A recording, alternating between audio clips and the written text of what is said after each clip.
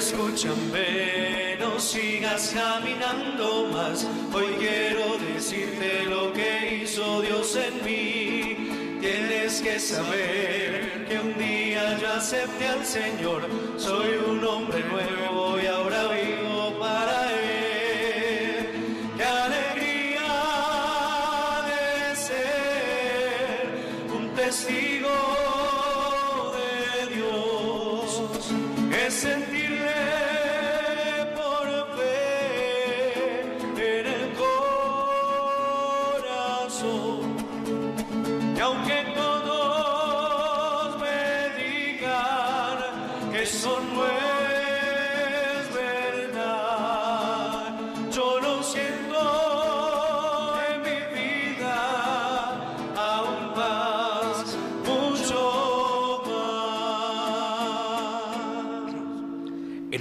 Padre y del Hijo y del Espíritu Santo. Amén.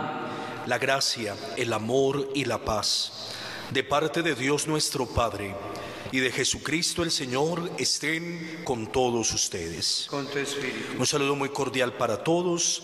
Bienvenidos a la celebración de la Eucaristía. Dispongamos el corazón para este encuentro con el Señor. Pongamos en el corazón de Dios nuestras intenciones, acción de gracias, alabanza, petición, súplica, abandono confiado en Él, que es bueno con todos. Y hoy nos alegra en la iglesia la celebración de la solemnidad del nacimiento de San Juan Bautista. La iglesia celebra tres nacimientos, el de Jesucristo el Señor el 25 de diciembre, el de la Virgen María el 8 de septiembre y el de San Juan Bautista hoy, porque el mismo Jesús hizo un elogio maravilloso sobre él. No hay nadie más grande entre los hijos nacidos de una mujer que Juan el Bautista. Y por eso hoy reconocemos las maravillas que Dios ha hecho en Él y por Él. Para que celebremos dignamente este misterio de amor de Dios, los invito a pedir perdón por nuestros pecados. Señor, ten misericordia de nosotros. Porque hemos pecado contra ti. Muéstranos, Señor, tu Y misericordia. danos tu salvación. Dios Todopoderoso tenga misericordia de nosotros, perdone nuestros pecados y nos lleve a la vida eterna. Amén. por el mundo y por la paz. Señor, ten piedad por el sol y las estrellas. Señor, ten piedad por los hombres y los niños.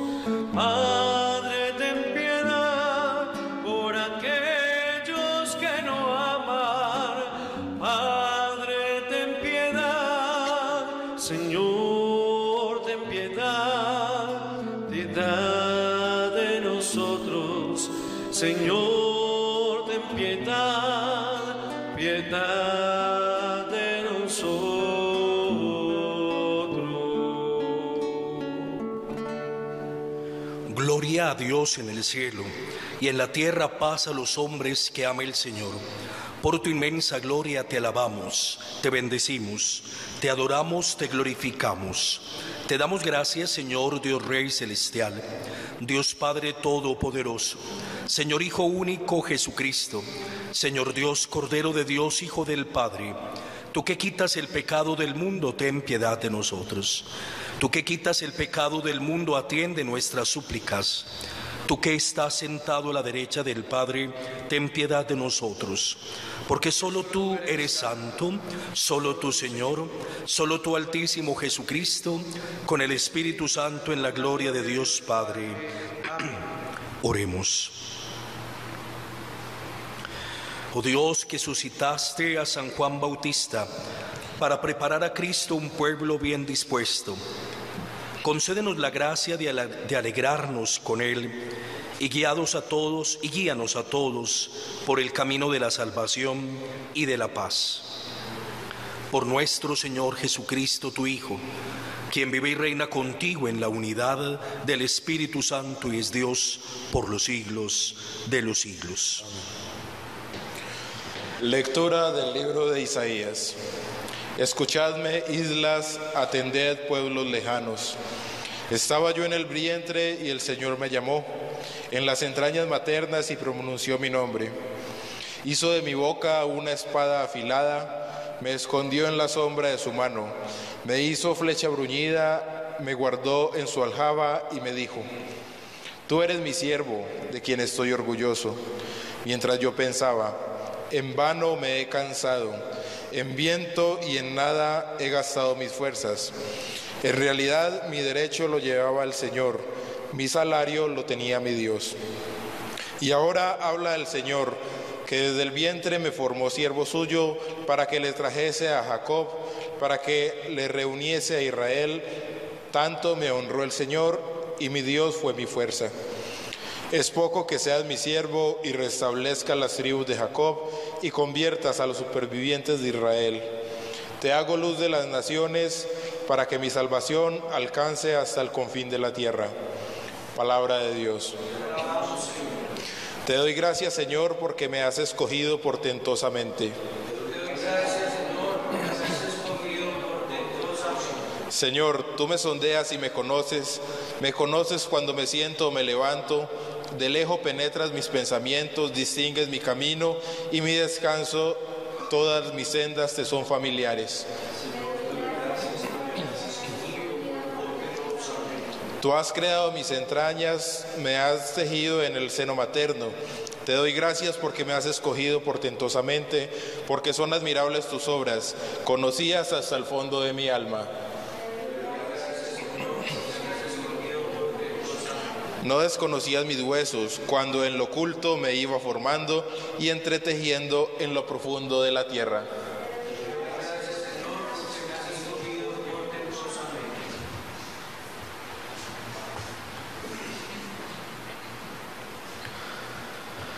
Del libro de los Hechos de los Apóstoles. En aquellos días dijo Pablo, Dios nombró rey a David de quien hizo esta alabanza.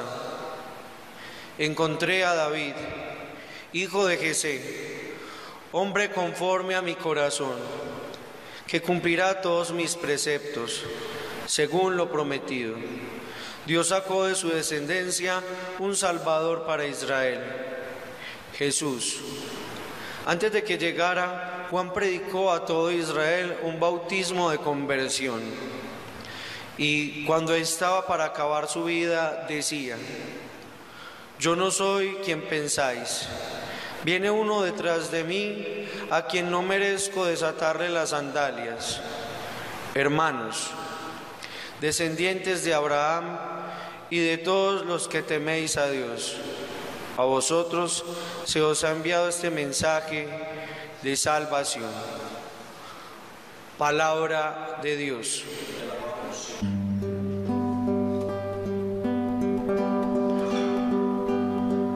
Por los poetas que nacen, por las flores del camino, por el rezo de las madres, por la sonrisa del niño, por la gente que se quiere, por el agua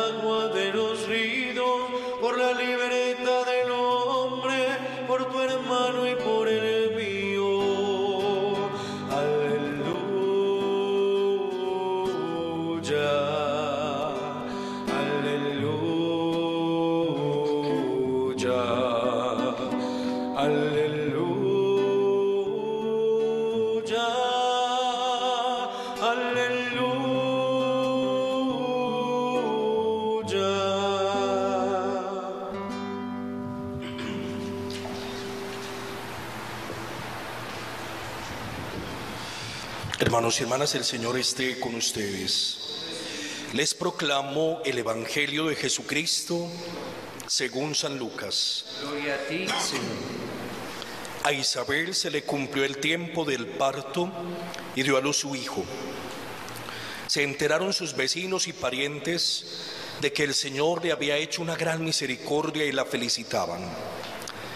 A los ocho días fueron a circuncidar al niño y lo llamaban Zacarías como a su padre. La madre intervino diciendo, no, se va a llamar Juan. Le replicaron, ninguno de tus parientes se llama así. Entonces preguntaron por señas al padre cómo quería que se llamase. Él pidió una tablilla y escribió, Juan es su nombre. Todos se quedaron extrañados. Inmediatamente se le soltó la boca y la lengua y empezó a hablar bendiciendo a Dios. Los vecinos quedaron sobrecogidos y corrió la noticia por toda la montaña de Judea. Y todos los que lo oían reflexionaban diciendo, ¿qué va a hacer de este niño? Porque la mano del Señor estaba con él. El niño iba creciendo y su carácter se afianzaba vivió en el desierto hasta que se presentó a Israel. Palabra del Señor.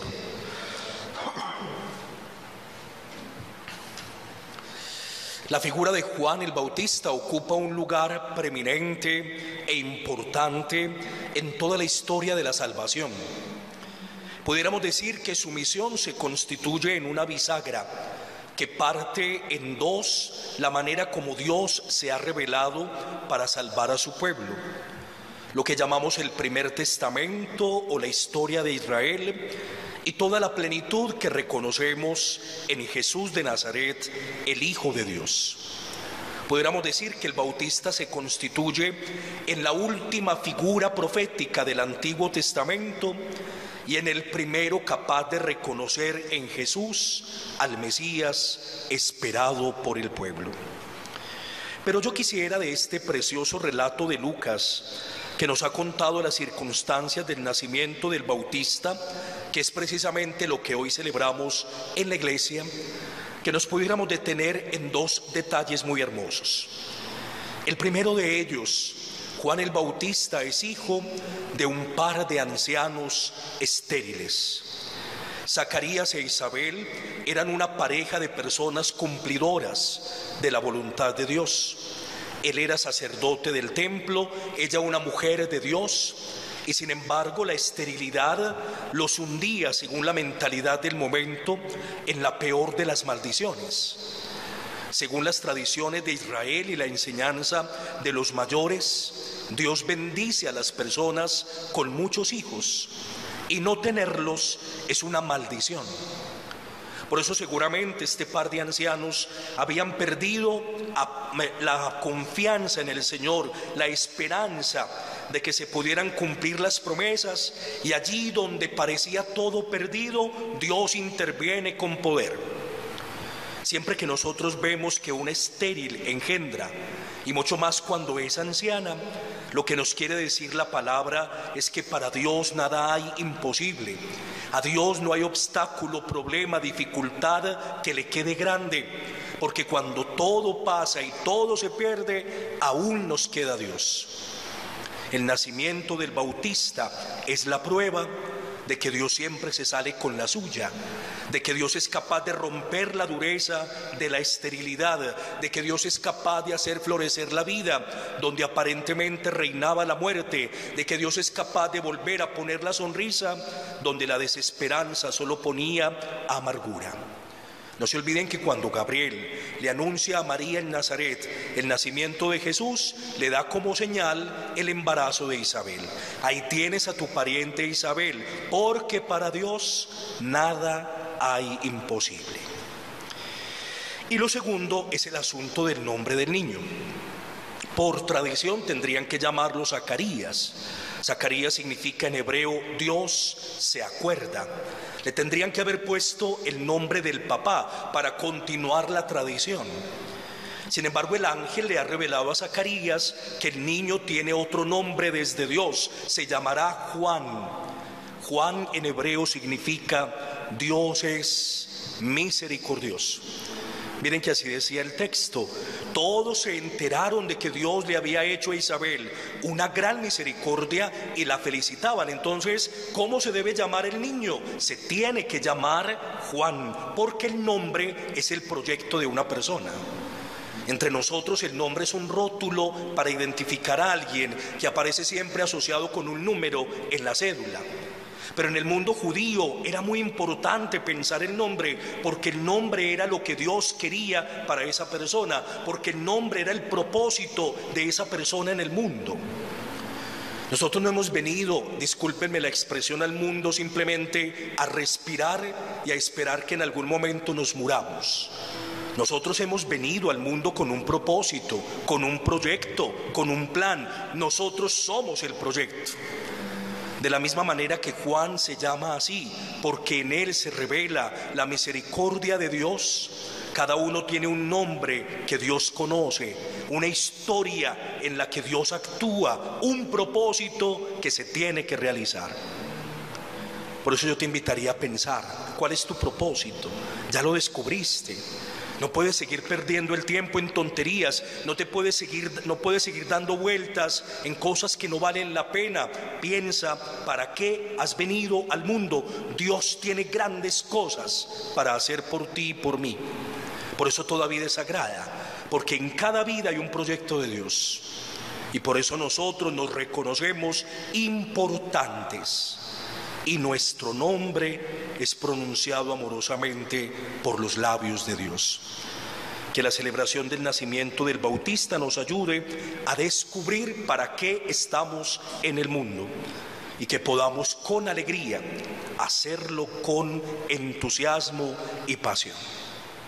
Termino con una frase que encontraba alguna vez al comienzo en los cabezotes de una película y decía, los dos días más grandes de un ser humano son el día en que nace y el día en que sabe para qué nació. Así sea.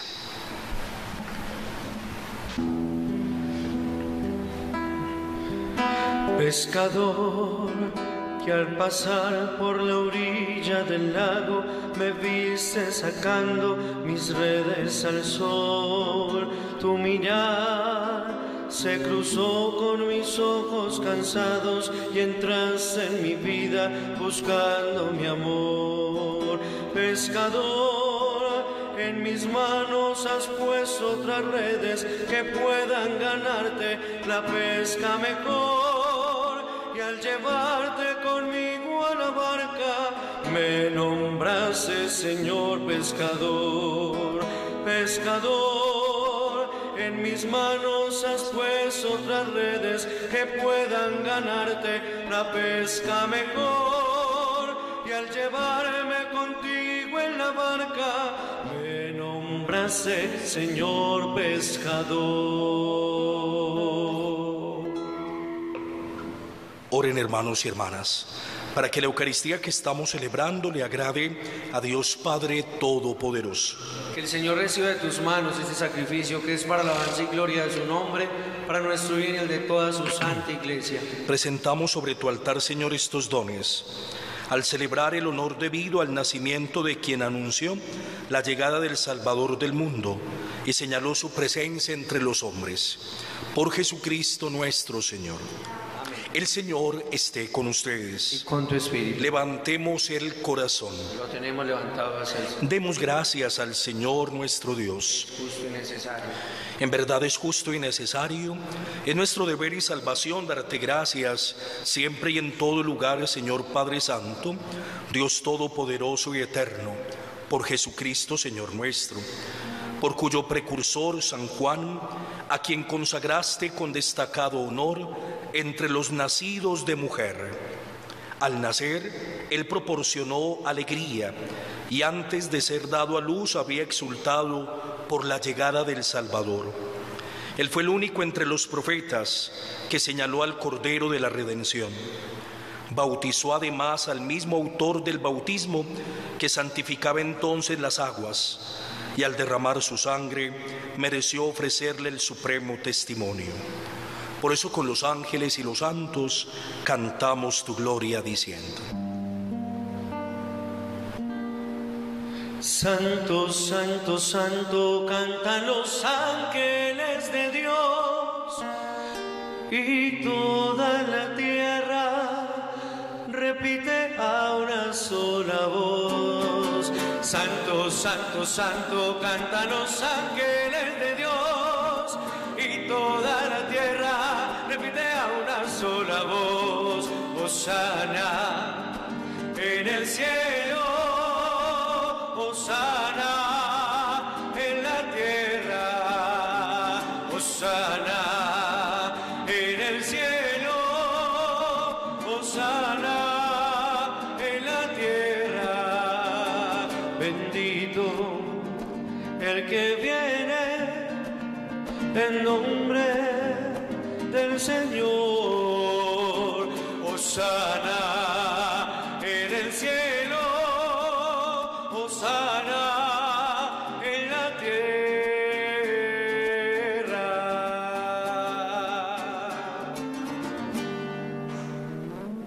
Santo eres en verdad, Señor, fuente de toda santidad. Por eso te pedimos que santifiques por tu Espíritu estos dones y los conviertas en el cuerpo y la sangre de tu Hijo muy amado.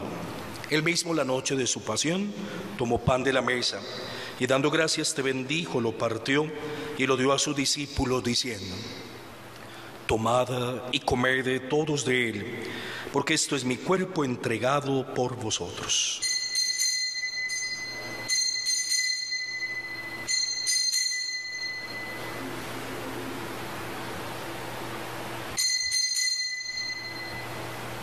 En medio de nosotros está Jesucristo y él, tomando este cáliz, después de cenar, lo pasó a sus discípulos, diciendo, Tomad, bebed todos de él.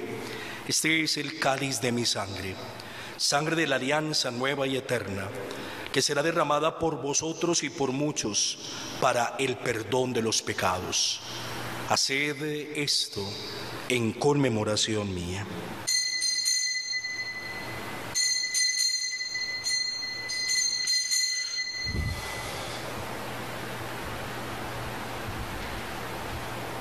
Este es el sacramento de nuestra fe. Anunciamos su muerte, proclamamos su resurrección. Ven, Señor Jesús. Por eso, Padre, al celebrar el memorial de la muerte y resurrección de tu Hijo, te ofrecemos el pan de la vida y el cáliz de salvación. Y te damos gracias porque nos haces dignos de servirte en tu presencia. Te pedimos humildemente que el Espíritu Santo congregue en la unidad a cuantos participamos del cuerpo y de la sangre de Cristo. Acuérdate, Señor, de tu iglesia, extendida por toda la tierra, y con el Papa Francisco, nuestro obispo Ricardo, y todos los pastores que cuidamos a tu pueblo, llévala a su perfección por la caridad. Recuerda a tus hijos que han muerto. Ten misericordia de todos nosotros, y así con la Virgen María, San Juan Bautista, San José y todos los santos, merezcamos por tu Hijo Jesucristo compartir la vida eterna y cantar tus alabanzas. Por Cristo, con Él y en Él, a ti Dios Padre misericordioso, en la unidad del Espíritu Santo, todo honor y toda gloria por los siglos de los siglos. Llenos de alegría porque somos hijos amados de Dios, digamos confiadamente la oración que Jesús nos enseñó. Padre nuestro que estás en el cielo, santificado sea tu nombre, venga a nosotros tu reino, hágase tu voluntad en la tierra como en el cielo. Danos hoy nuestro pan de cada día, perdona nuestras ofensas, como también nosotros perdonamos a los que nos ofenden. No nos dejes caer en la tentación y líbranos del mal. Y concédenos la paz en nuestros días para que ayudados por tu misericordia vivamos libres de pecado y protegidos de toda perturbación, mientras esperamos la gloriosa venida de nuestro Salvador Jesucristo. Porque tuyo es el reino, tuyo es el poder y la gloria por siempre, Señor. Señor Jesucristo, que dijiste a tus apóstoles, la paz les dejo, mi paz les doy. No tengas en cuenta nuestros pecados, sino la fe de tu iglesia. Conforme a tu palabra, concédenos la paz y la unidad, tú que vives y reinas por los siglos de los siglos. Amén. La paz del Señor esté siempre con Y ustedes. con tu espíritu.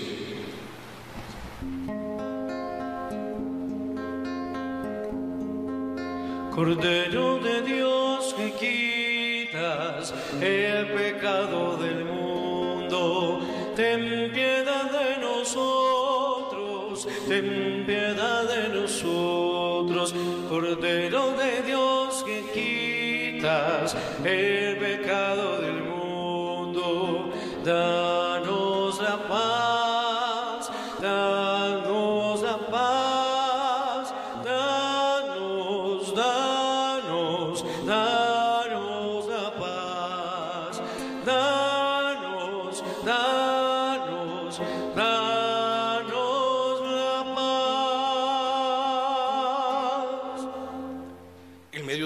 Nosotros está Jesucristo.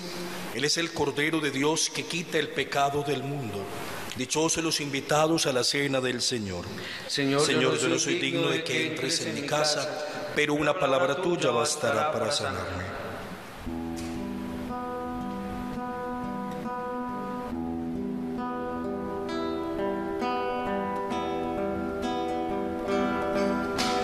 antes que te dentro del vientre de tu madre, antes que tú nacieras, te conocía, te consagré. Para ser mi profeta de las naciones, yo te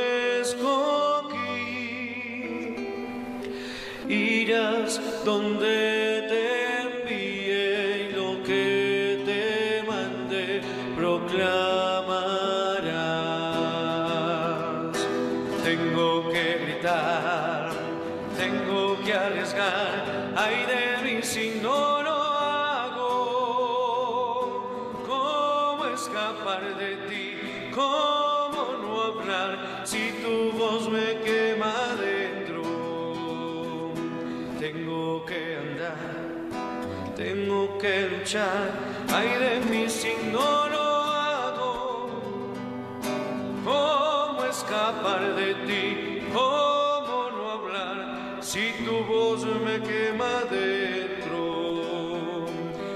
Antes que te formaras dentro del vientre de tu madre, antes que tú nacieras, te conocía, te consagré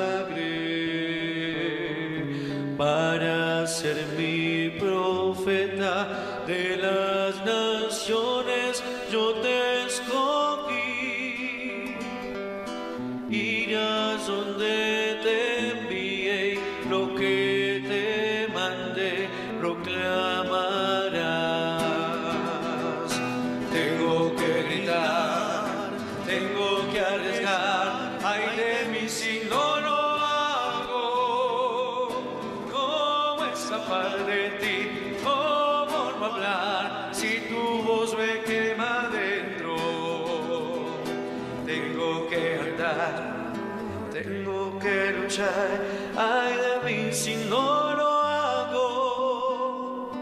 ¿Cómo escapar de ti?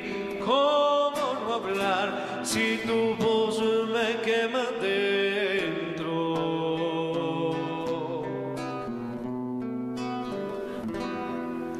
Renovados en el banquete celestial del Cordero, te pedimos, Señor, que tu iglesia llena de alegría por el nacimiento de San Juan Bautista, reconozca al autor de su salvación, cuya venida ya próxima Juan anunció. Por Jesucristo nuestro Señor. Amén. El Señor esté con ustedes. Con tu espíritu. Y la bendición de Dios que es amor, Padre, Hijo y Espíritu Santo, descienda sobre ustedes y los acompañe siempre. Pueden permanecer en paz. Demos gracias a Dios. Santa María